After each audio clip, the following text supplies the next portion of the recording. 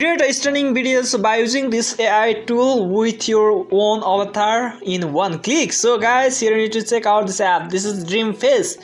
Here you can see this type of uh, videos you can create uh, easily by using this AI tool.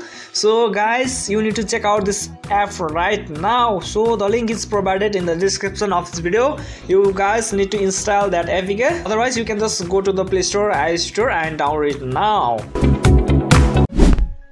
hey guys welcome back to my new video. In this video i'm going to show how you can just view any wi-fi password in your android or in your ios. So let's get started. So first here you need to scroll down your top navigation then here you need to go to the wi-fi setting now here you can find the wi-fi that like to view your wi-fi password then here you can see at the right side beside the ssid name here you need to click on this cog icon. Then here you need to you, you need to click on this qr code button. Here you can see at the bottom left you need to click on that.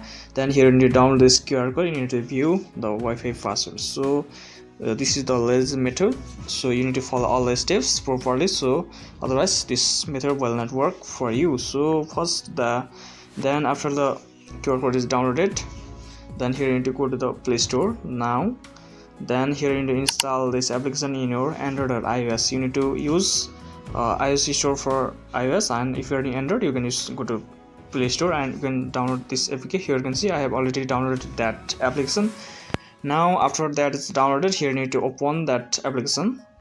Here you can see I have already downloaded and you need to open that application. Then here you need to click on this here you can see image button at the top. Here you need to click on that and choose the image that you have downloaded from the Wi-Fi. Then here you need to choose that QR code then wait for it to load.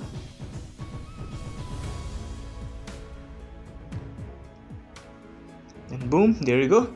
Here you can see the Wi-Fi password is clearly visible so that's the way how you can just view any Wi-Fi password in your Android. You can just share this Wi-Fi password with your friends and family. So uh, this is the way how you can just view it. So if this video helps make sure to like the video. And if you're new here make sure to hit the subscribe.